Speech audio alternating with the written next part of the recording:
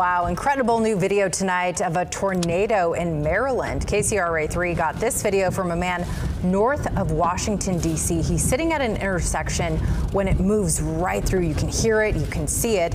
The debris is blowing around. You can hear the strong winds there. A trained storm spotter confirmed this was a tornado. The National Weather Service is also investigating dozens of other reported twisters in that area. But Tamara, just such a difference from what we're seeing here. We're seeing that heat, but it's still yeah. active uh, tornado season in a lot of parts of the country. It is. Think about it. We're still into, you know, latter portion of spring. You get all those changes in the air masses there, especially on the Midwest and the Northeast. Mm -hmm. And that's exactly what we saw, saw erupt this evening there in parts of the uh, East Coast. Let me show you a closer view here on satellite and radar in motion. And let's go through the last six hours. You can clearly see just that line of rain filing through and also during that time frame, especially 7, 8 o'clock in the evening is when folks started calling in the reports that there were sightings of tornadoes, especially in areas here right around Baltimore, Baltimore and also now much of that line is starting to extend off towards the eastern seaboard. But here are the reports that were called in and you can see while not all of these are confirmed tornadoes, in fact,